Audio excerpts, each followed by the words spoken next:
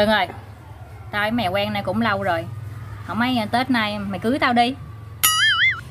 Tiền ơi Mày ghen như quỷ. Lấy mày về ai chịu nổi? Mày cưới tao đi Tao hứa tao không ghen nữa đâu Thiệt luôn á. Chắc chưa? Chắc uy tín luôn.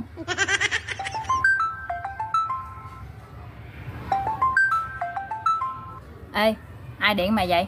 Nam hay nữ Nợ. Nữ hả? Con nào? Tên gì? Nhà nó đâu? Nói tao nghe coi. Tiền ơi là tiền. Má tao. Vậy mà nó nói nó không ghen nữa. Nó hứa.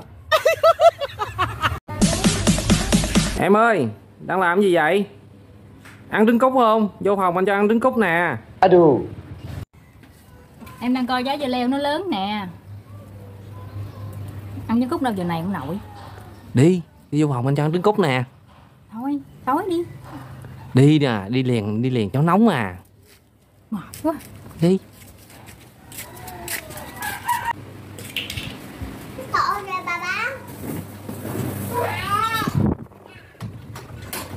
Tự nhiên ờ, đóng cửa phòng chứ vậy? Chứ sao đủ vô phòng ăn trứng cút Thì ăn trứng cút Trứng cút nè. Đóng cửa phòng chi Ăn nè đi ngủ vô phòng ăn chi Ở ngoài mắt gì cũng ăn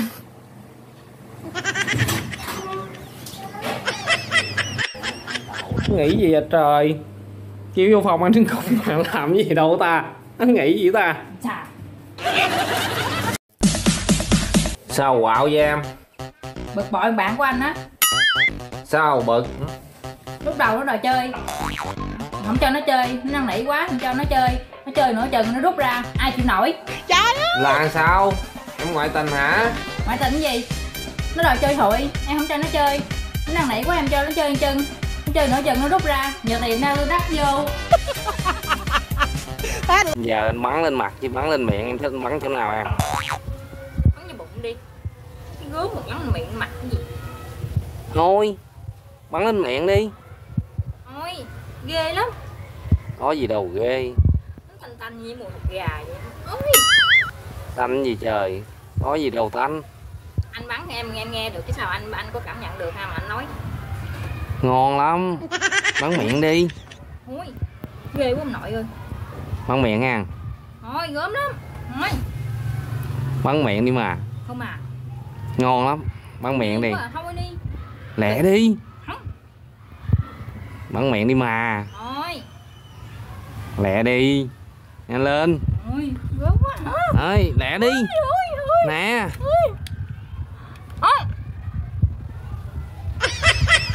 Ngon không? Ủa? Nó bắn bắn miệng ngon chết luôn mà đặt sao Anh ơi Tém không? Chừng nào? Bây giờ nè. Có gấp lắm không? Giờ em thèm quá rồi. Sao Mà giờ nó còn nhỏ xíu rồi sao?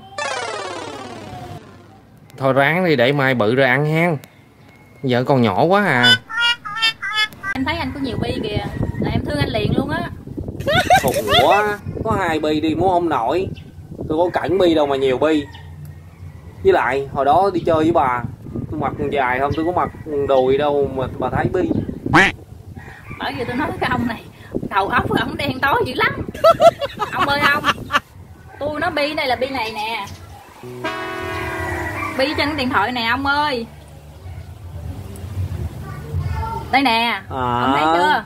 Bi này á hả? Từ làm tôi tưởng đâu nó bi kia làm tôi hết hồn. Chứ ông nghĩ bi gì? Bi của ông hả? Thì gớm. Ai thèm? Không thèm mà đâu làm ba đứa